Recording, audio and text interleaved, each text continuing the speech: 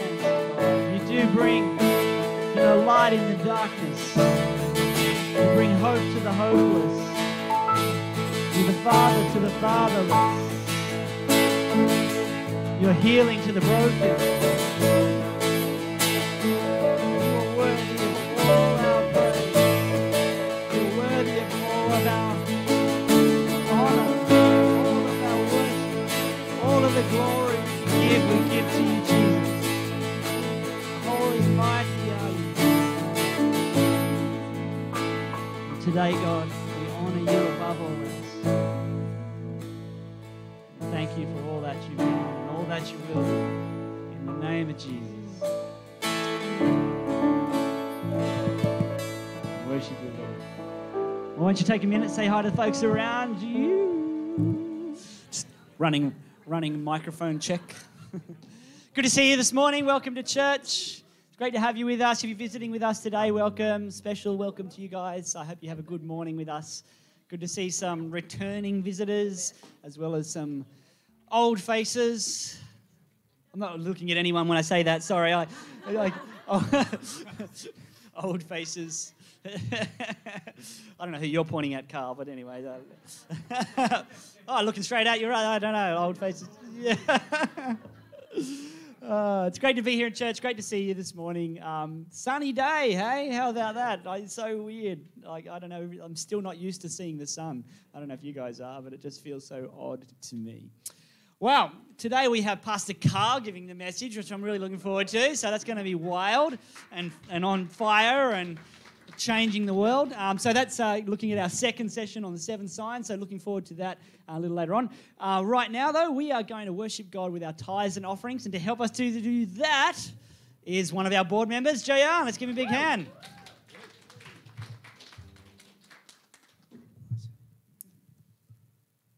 Morning, church. Thank you, Sherwin.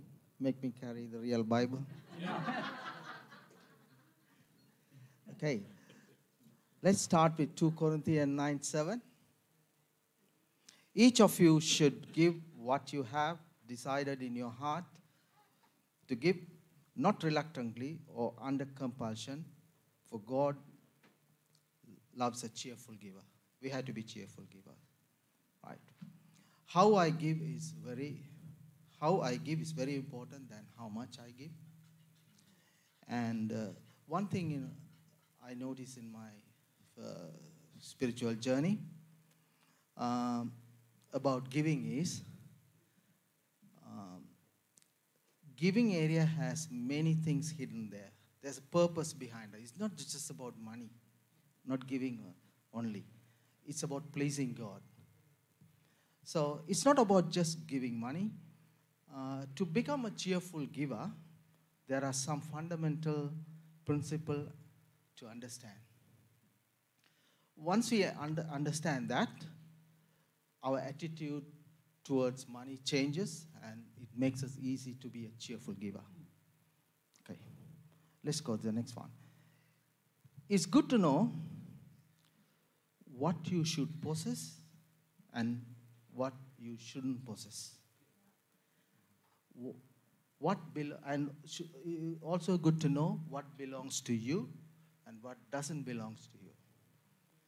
So if you are attached to something, it's very hard to give it away.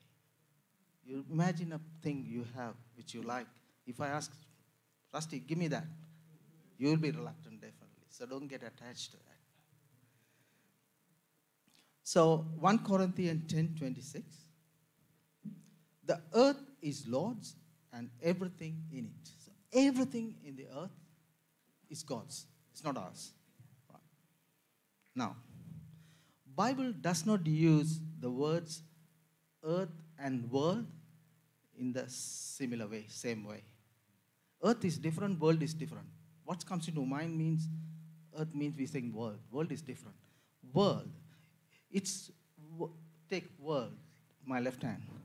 World speaks about the system, the world system.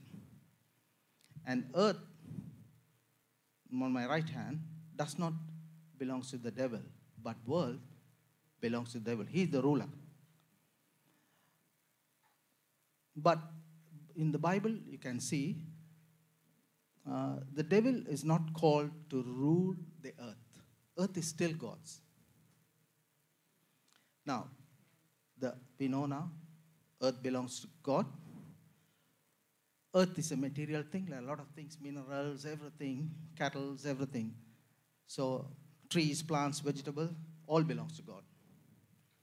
In that same sense, if you read verse 25 on the same 1 Corinthians 10, he says you can eat anything sold in the meat market. So you can see whatever in the earth you're allowed. It's yours. You can enjoy, you can have it. That's why we give thanks when we pray. Even yesterday also I visited one friend of my house for meal. They prayed. Prayed for the food. Grace. Yeah. So uh, 1 Timothy 6 7, we see, we brought nothing. 1 Timothy 6 7. We brought nothing into the world, we cannot take anything out of it. If money belongs to us, we would have to say God is stealing from us. Right? The, this is the point we should understand. There's an important point there. God allows us to have this in our lifetime. We earn a lot of things, a lot of money. Yes, you God allow, you have it. But it was a loan. You can't have it, you can't possess it. Deuteronomy 14 23, we, we see tithing was to put God first. So it's not about 10%. but what we read, by simply reading, you say, oh, 10% we have to God, 90% is mine. It's not about that. If you go further reading, you'll say, uh, you'll see it is about, the teaching is about, it's all about putting God first. God is first for us. Get the order right. Even in my life, I practice it works well with me. First God, then my wife, then the children. Get the order right. Always get the order right. So 100% belongs to God. That's the attitude we should have.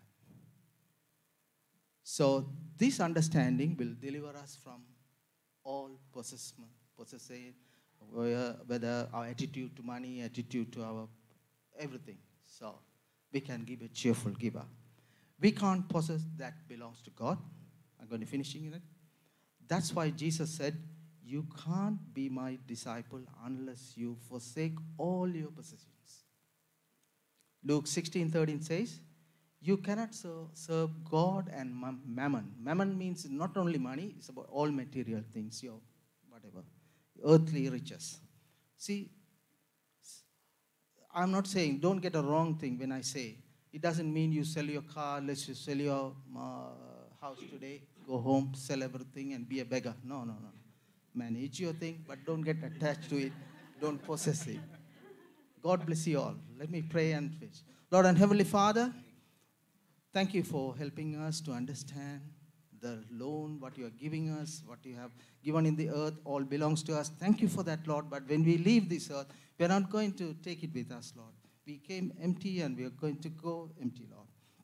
Thank you for giving that understanding and help us to be cheerful giver and to build your uh, kingdom in the future. In the mighty name of Jesus. Amen. Thank you, Jan. It's all very quiet when you walked away. Let's give Jan a bit of a warm, you know. that's all right. That's all right. God loves a cheerful giver. Here's, a, here's an interesting thought for you. If you're not cheerful as you give, don't give. I'm being quite serious there, actually. You know, if you're not cheerful as you're giving, just don't give it. just don't give it. Like we, I mean, well, we don't we don't actually want your money. That's never been what we've ever wanted.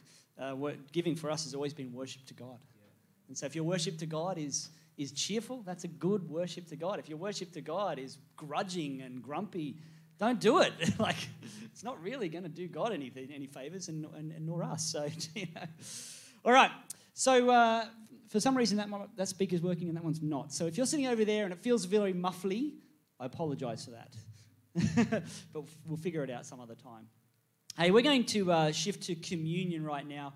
Uh, for those that are visiting with us, we share communion every week. It's part of our, our worship, part of our practice. And um, uh, so, just to let you know that uh, this is a, uh, bread and wine that we share, um, but also if you are someone who would prefer to stay at your seat, I understand that at this moment that's what a lot of people would prefer. So, um, just indicate to Jayan or uh, Gita, whoever's doing that, Jayan today, he'll bring a at your seat version to you, um, and then you can uh, share your communion without having to come forward and share with us.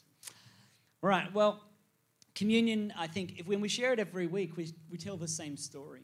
But it's a really important story. And so I'm happy that we tell the same story because it's, it's the beginning story of us as Christians. And, it's a, and it's, it is the most significant story for us as followers of Jesus. And it's so, it's so significant that it was passed on from generation to generation and has been passed on from generation to generation in the same way, in the same method, using the same things for the last 2,000 years. And so when Paul, the Apostle Paul, is writing to the Corinthian church, uh, he said this I received from the Lord what I'm also passing on to you. That on the night when Jesus was betrayed, the Lord Jesus took bread, and when he had given thanks, he broke it and said, This is my body, which is for you. Do this in remembrance of me. In the same way, also, he took the cup after the supper and said, This cup is the new covenant in my blood. Do this as often as you drink it in remembrance of me. For as often as you eat this bread and drink this cup, you proclaim the Lord's death until he comes. It's such an important part of our Christian life to remember that Jesus died, but also that Jesus rose again and that Jesus ascended to go be with the Father, and that one day Jesus will return. It's so important. Every, everything else we do hinges on this one truth. Everything. If there was no resurrection, you know, Paul says in another letter, we are the most pitiful of people because we believe in, in something. We, we sacrifice all these things in, the day, in our daily and our weekly life for nothing if there is no resurrection. And so when we remember this moment, Jesus' blood and body, we remember that there is a resurrection. That Jesus, we proclaim it, in fact. We don't just sort of remember it, but we proclaim it by our action, by our movement to the front.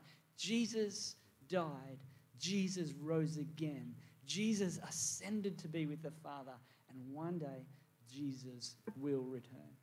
And he, we will return with him.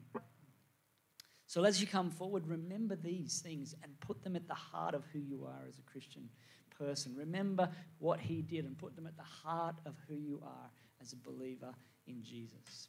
Um, so in a moment, we'll share that together. So let's just pray.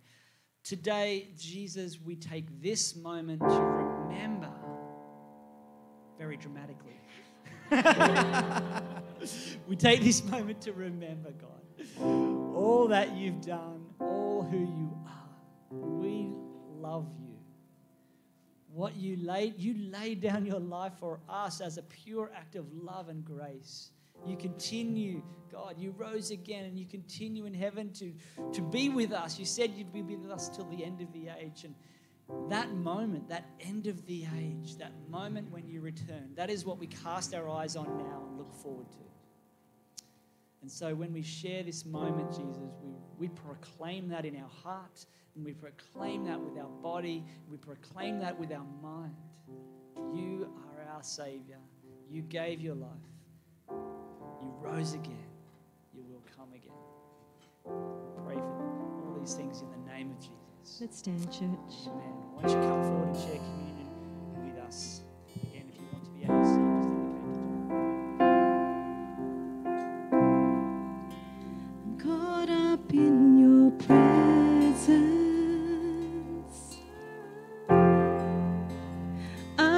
Just want to sit here at your feet.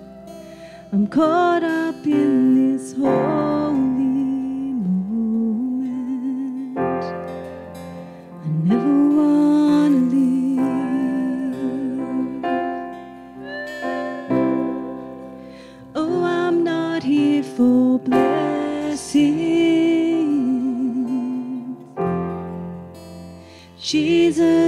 you don't owe me anything more than anything that you can do. I just want you.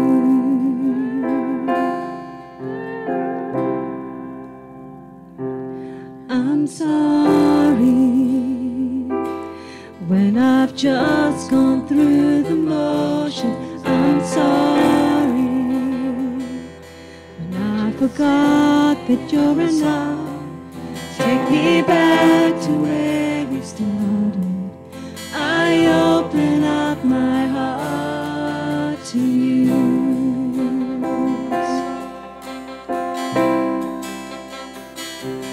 I'm sorry when I've come with my agenda.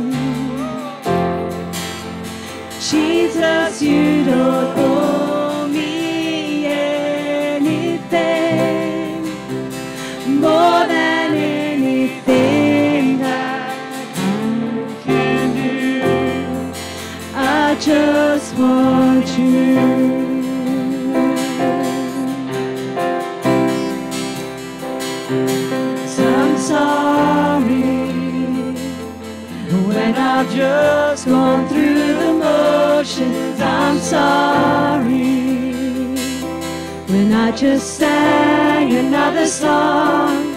Take me back to where we started. I open up my heart to you.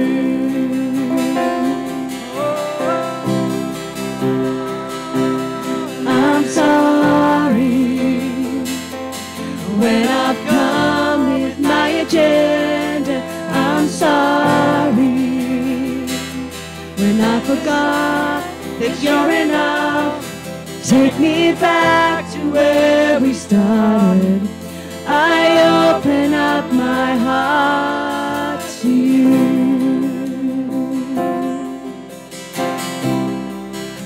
I just want you, nothing else, nothing else, nothing else will do. I just want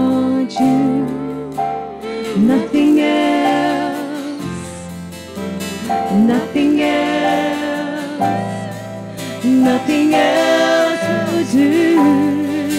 I just want you, nothing else, nothing else, nothing else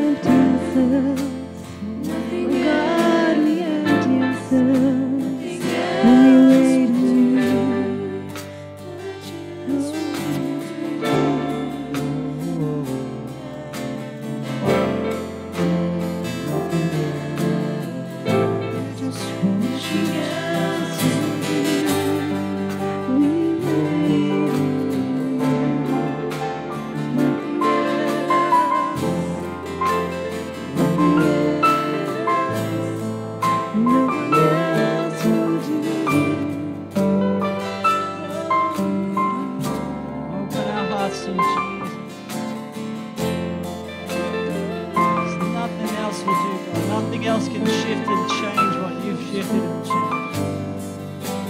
Because you are the Lord, heaven and earth.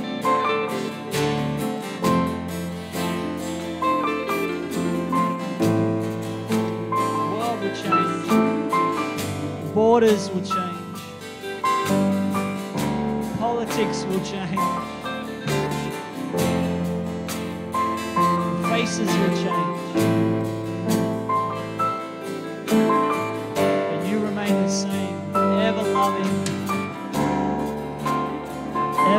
Ever merciful,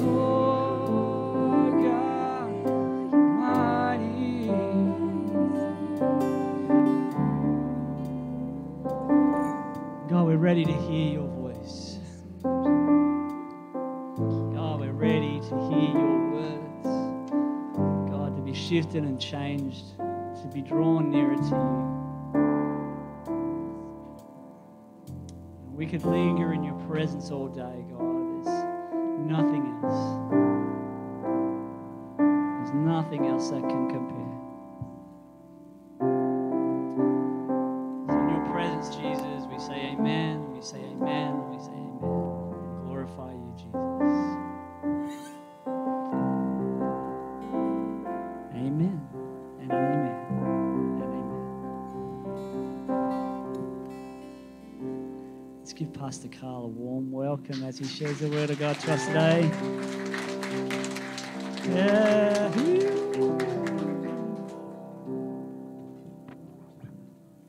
Good morning, church. Okay, now I do apologize. I actually, um, I actually pray with props. Forgot my chocolate. And there's a reason why I do that. That is to distract you people, so I can quickly talk. Amen. So I got into my other prop. I have a. Sometimes my eye just, you know, water just. I, I, I don't know what it is. But yeah, God will heal it in Jesus' name. uh, before um, Pastor Joel was was saying, Why am I pointing to Russ? And um, the truth is, Russell's team is killing it in the comp. I thought I mentioned that. uh, well, good morning. I hope that you guys have had a great, uh, great week, um, regardless of whatever has happened in your life. You know, God is good, and Jesus is still King. So before we start, I'm just going to pray first. Father God, as we listen to your word, we pray that you open our eyes and our ears. You strengthen us, Father God, and you strengthen me as I speak, Father God. We speak to glorify your name in Jesus. Amen. Okay, so um, last week, Pastor Joel was excellent, excellent preach. Unfortunately, we couldn't get it on video. Video, very sad. So for you that was not here, well, you missed it. anyway, last week Pastor Joel was talking about Jesus' first miracle is changing uh, water into wine, and uh, we'll continue on on the seventh sign. So I'm talking about when Jesus heals uh, an official's son. So, uh, yeah, thanks again, Sean. You made us bring the Bible. I had to run and find one.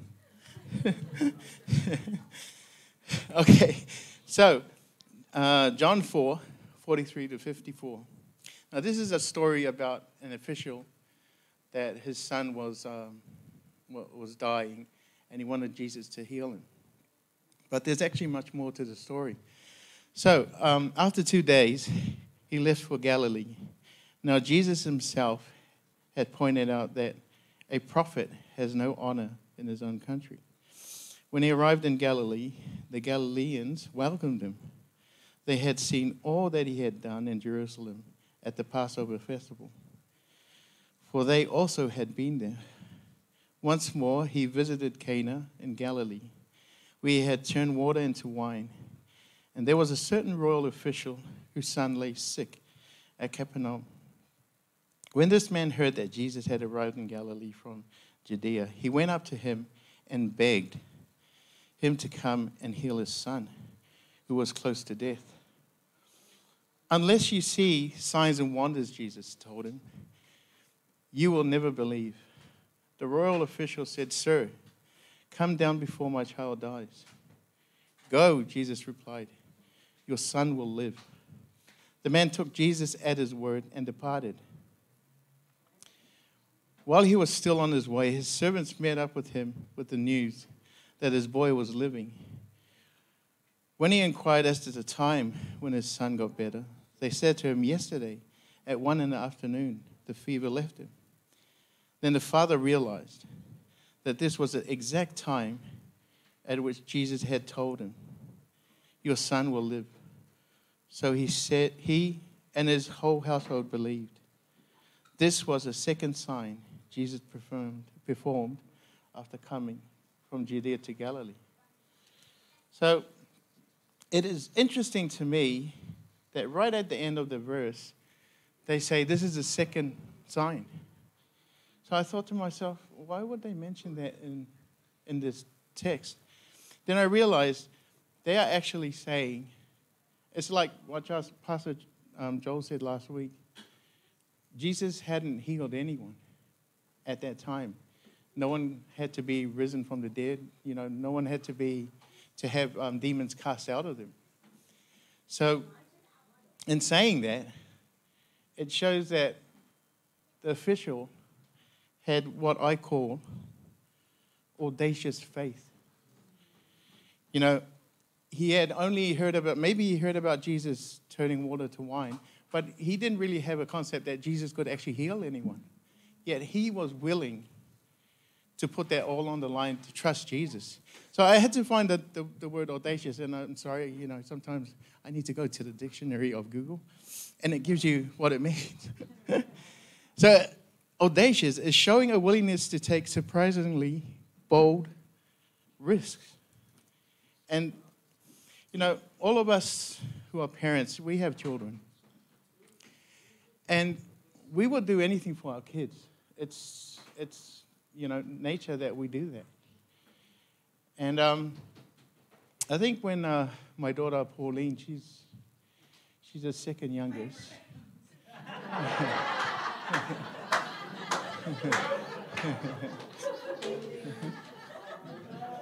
that was part of the distraction. anyway, yeah, you can see how big Pauline is. She's tough and she's. But that was a compliment. But um, Pauline was very sick when she was young. So when she was like three, going up to a couple of years, I think, I, I had to take Pauline nearly every week to the hospital because she either had a fever or she was really sick. So my wife does not like needles. She, she doesn't like needles. I don't know how she got her vaccinations, but she doesn't like needles. so every time I was the one, when it came to needles, I was the one to. So I, I'm holding Pauline, and I think the first time it caught her off guard. So I think the following week, when I had to take her again, she needed another injection. Before the poor doctor came to her, she was saying, Bad doctor, bad doctor. so when your kid cries like that, you, you inherently want to do something. But I knew that she needed this injection. So I said, Don't worry, you're going to go to Macca's. I don't want Macca's. bad doctor. so I managed to calm her down, and, and she got her injection, and, you know, and that was that.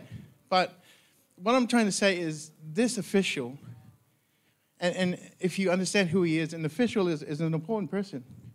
You know, he has slaves, he has people that are under him. He doesn't actually talk up to anyone, he talks down to them because he's an official. Yet at this point in time, and it says in the script, he was begging. He was begging for, his, for Jesus to heal his son. So you can imagine an official, a person, most important person that will humiliate himself to be lower than a servant to beg Jesus to heal his son. And uh, I kind of um, understand what this official was doing because, you know, as, as a parent, we always, we always want to do well for our kids. We want our kids to, you know, sometimes I think we, we baby our kids too much. And um, I, I remember someone saying, strong people create good environments, but good environments create weak people. And that's so true, you know, because we're inherently worried that our kids will go through things that will hurt them, we will try to hurt for them instead of letting them fall, instead of letting them find out what life is about. So it was amazing for this, this, um, this official to, to actually, you know, lose himself, be willing to, to humiliate himself you know, to, to, for Jesus to actually heal him. So, with this audacious faith, I just wanted to talk about a couple of people that I know that have, you know, I call crazy faith. People that are, you know, half glass empty type people. And, and the first one my wife. so you guys know my wife. She's, she, she loves to pray. And she's crazy when she prays. You know, it's, it's, it's audacious faith. Anyway, um, I'm going to tell you a story. About uh, two and a half years ago, I had a call from my brother's wife. Yes, I have a brother who I don't see. He only visits me once a year. I think, I don't know why, but I love my brother. I love my brother. Who doesn't love their family? Anyway, um, the wife is hysterical, and, and she calls and she says, um, Ronnie um, is not doing well. And the doctor said, they're waiting. And I thought, waiting for what? Because uh, I'll just give you a background on my brother. My brother is a workaholic. And uh, unfortunately, that's part of our family. We are workaholics. But my brother, he works seven days a week has two jobs. So from Monday to Friday, he will work his welding job. It was a pretty heavy job, and very physical. And then on Friday to Sunday, he does security. So he doesn't rest. Sometimes he, instead of going home, he will sleep at the park and wait until his other shift and then go back to work. And when he does security, he does security in the evening and night, sometimes in the day. So he works. And, you know, when I talk to him, if he ever calls me, it's all about, oh, I'm working this, I'm doing this, I'm doing that. I say, oh, good on you, brother. Anyway, I believe the body was tired. It just gave up. So, okay, Ana said, let's go to the hospital. I didn't say go to the hospital, she did. I love my brother. So we went to we went to the hospital. We get in there, and when we get there, I was actually going to bring a picture, but I didn't want to scare you guys. My brother was lying in the bed, and there were machines everywhere. And then we asked the, the nurse, or actually the doctor. Actually, Ana was asking, sorry, because I don't ask. Ana was asking every question. And Ana said, What's going on? And the, and, and the doctor said, Every machine that you see is working each part of his body. Everything was failing. His kidneys were failing, his heart was failing, his, his lungs were failing, and each machine was working the body to make sure it continues to work. And I'm sitting there days and I'm thinking, this is one of the guys that is so strong, and now I see him lying there helplessly. So obviously, Ana will start asking questions. In your experience, has there any be anyone that has ever come from this? Because the doctor said, We're just waiting. And the doctor was thinking and said, There's a couple before she could even finish her sentence. Ana said, I'm going to take that. I'll take that. I'll believe that he's going to get better. So then Ana, yeah, it's always Ana, it's not me. Ana said, Do you mind if we pray? And um, the doctor said, Yes, you can. So, yeah, we didn't do one of those heal and Jesus, you know, we didn't do We didn't want to scare the, the nurses and the machines. So probably. anyway, Ana, Ana's at the head and I'm at the feet. And then we start praying under our, our breath, speaking in tongues. And I didn't see it, but Ana said every time a nurse or doctor walked by, you could see them nodding, like agreeing, like they're Christians. Like I, I now know that there's a lot of nurses and Christian, um, doctors that are Christians in the hospital, but they won't say it. Um, I do dialysis, so I have this nurse that is usually with me, and she came up to me one day whispering, Are you a Christian? I said, Yes, I am. I said, Oh, okay. because I want to tell people I'm a Christian. I'm not going to be, you know. Anyway, the reason why I'm saying this is Ana's faith is so strong that when she did that, and when we were praying, for the first time in my life, and I pray a lot, I feel God's presence. This time, it was different. This time, it was like you could feel God hugging you and saying it's okay. Like it was a really heavy presence of God in that place. So after we prayed, we went home, and the, and the wife was hysterical. She said, Oh, I'm going to lose Ron. I can't believe it.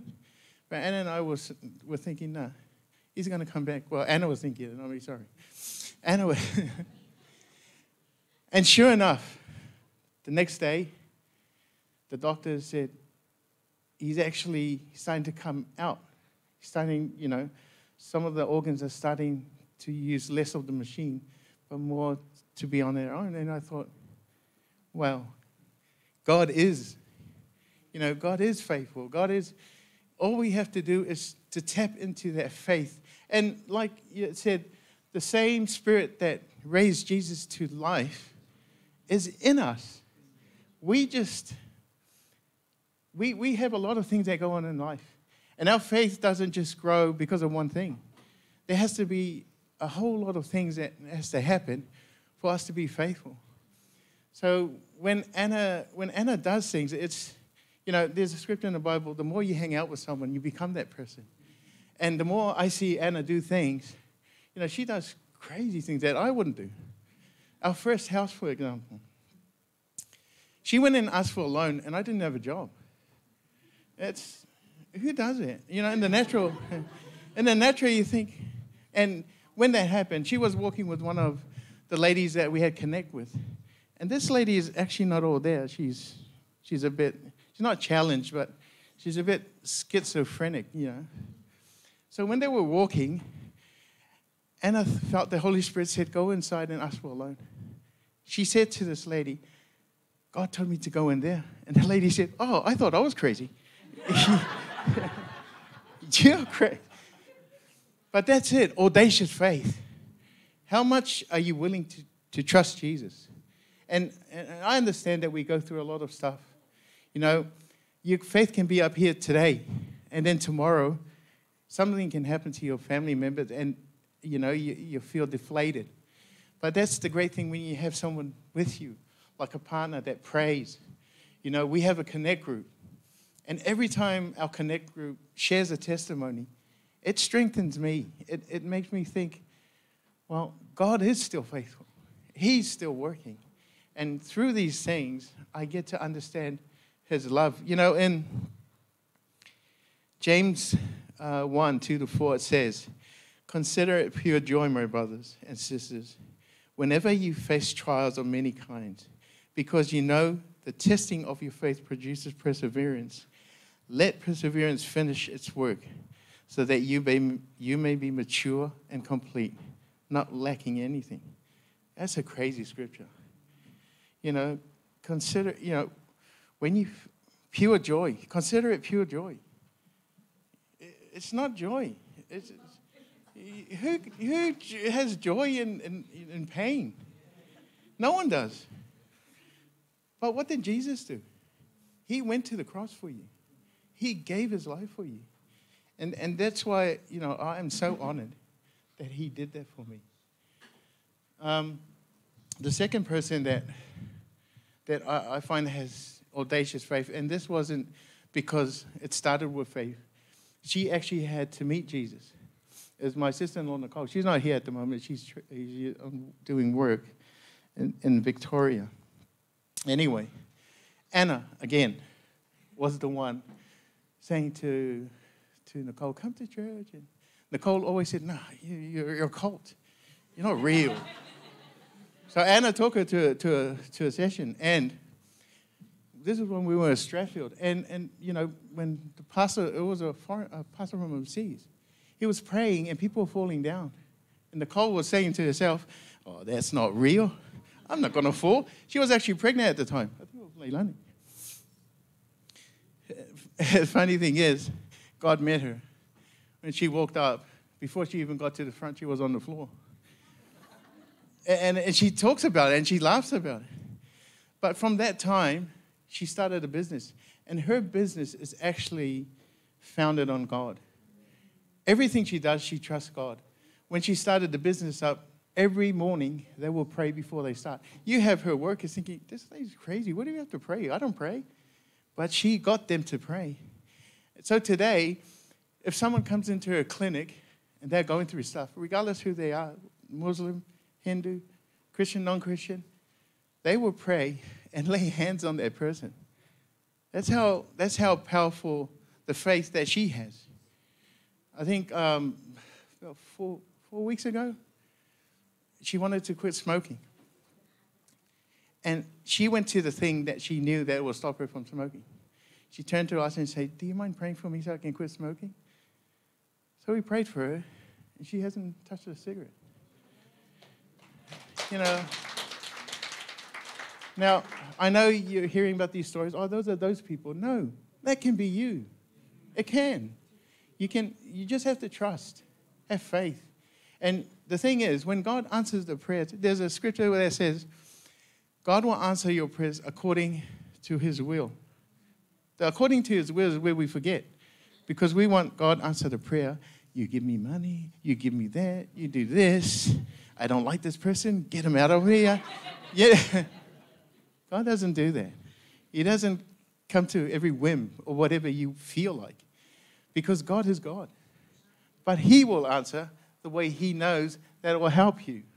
That, you know, God loves you. According to His will means He will give it lovingly to you that it will actually help you. And I, I've understood that. I've had some prayers answered. And when they've been answered, God doesn't answer just that prayer. He answers like nine things after that.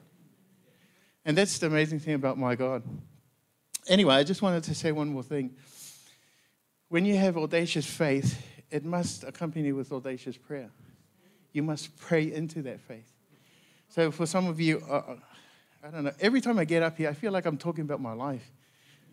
it's like a session with a psychiatrist. but it's good, isn't it? it you know, it, it, I'm actually, so I prayed for a wife. And um, a lot of people, when you pray for your wife, like, I would like a woman to love me, love my family, help me send money to my family. You know, a woman that loves me. That's what. Yeah. Lorenzo knows. this was my prayer. And it was a desperate prayer, and it was an honest prayer. And please don't laugh. I said to God, I, have now looked after all my, my cousins' kids. I want a family. So, God, I want a wife that's half Asian and has small feet. okay, half Asian. Uh, I kind of like Asian women. Sorry. the, f- the feet, island women, God didn't really bless them with small feet. I'm sorry. And I don't see any island women here except for my wife. She's got small feet. The reason why I, did, I wanted small feet because I don't want my wife to share my Jordans, you know. I don't want to, hon, where's my shoes? Give me my shoes, you know. they can share everything else, but not on shoes. Anyway, that is what I'm trying to get to you guys. The audacious faith is accompanied by audacious prayer. And we should trust in God. I know at times when you look at your situation, it doesn't look like it's going to happen for you. But I can tell you now, it will happen. You know, just recently we've been praying for Scott's dad. He went to the hospital, and we've been pressing into it. And he's out of hospital. God does so stuff that it's just ridiculous. Audacious faith. The final scripture I wanted to to give to you is um, in uh, John 20, 31.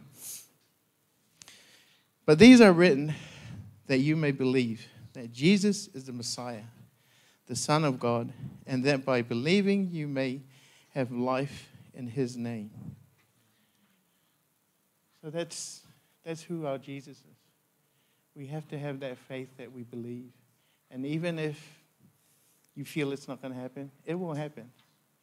One of the, the faith prayers my, my, my crazy wife is praying about is, is I will receive a kidney.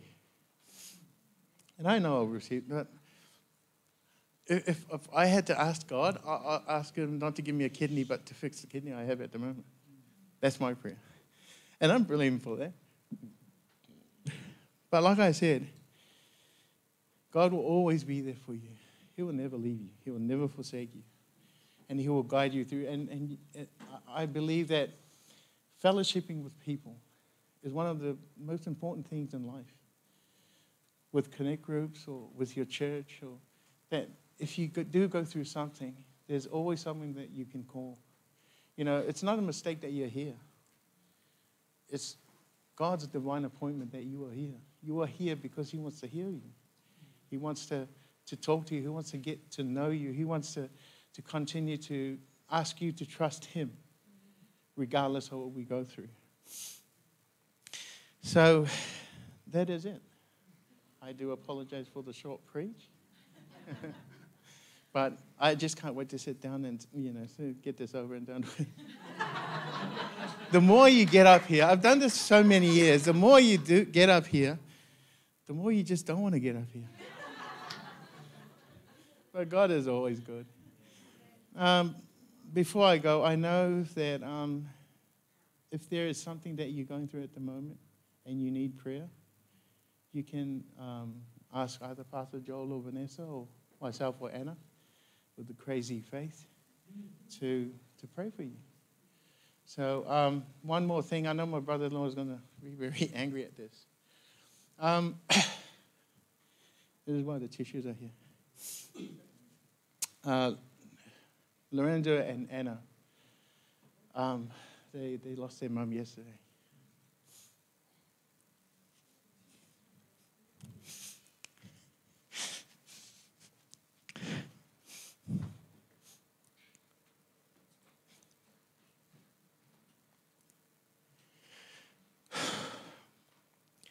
I guess one of the hardest things that we face in life is losing a loved one. It's not easy.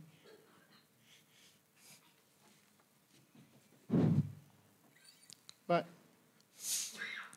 with people around you, I believe that, you know, we can get through this. So if you do um, have a time to, to meet with Lorenzo and, and Ana, most, mostly with Lorenzo, that, um, you know, just to say it's going to be okay. You know, we can. Sometimes there are no words to express help when people lose their, their family. But in this world, people are dying every minute. And within that minute, there's actually either your name or my name on it. God will strengthen us through the situations we go through and the many loved ones that we, we lose. We will be stronger for it. So, just to, you know, just keep Lorenzo's family in your prayers. And um, yeah, so thank you guys.